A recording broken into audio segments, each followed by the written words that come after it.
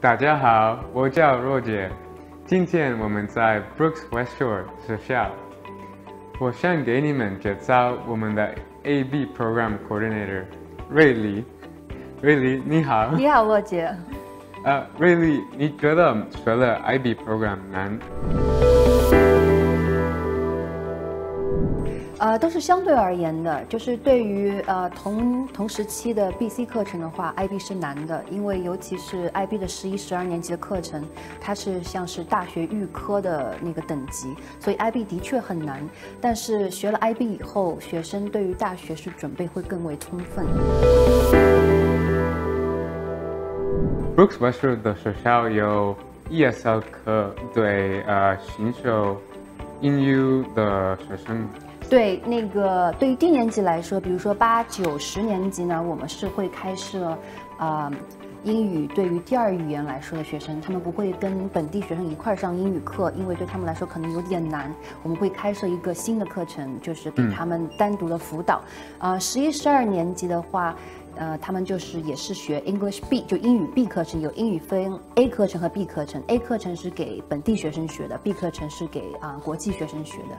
另外，如果学生有需要的话，我们会有老师在课外额外的时间呃辅导他的英语。嗯，很好。嗯，BC Dogwood Diploma 是什么？哦，这个是 BC 毕业的证书，就是所有在 BC 呃高中毕业都会有一个这个文凭。嗯，很好。呃，学生可以选择就呃获得 IB program 吗？的 diploma。对，是就是 IB DP 的话有两个啊不同的选择，一个是做 diploma 学生，就是他会做所有的要求，然后这个学生毕业的话会有一个 IB DP 的文凭，还会有一个 BC 的毕业文凭，这个就是 Dogwood。然后另外一个的话可以选择他只修 IB 的。个别课程，这样的话，他没有 IB 的毕业证书，但是会有一个 BC 的毕业证书。也就是说，如果学生是选择 Diploma 这条路的话，他不需要做额外的东西，就可以，呃，获得 BC 的毕业证书。就是他有同时有两个毕业证书。嗯，那大多数学生，呃，一般呃录取什么大学？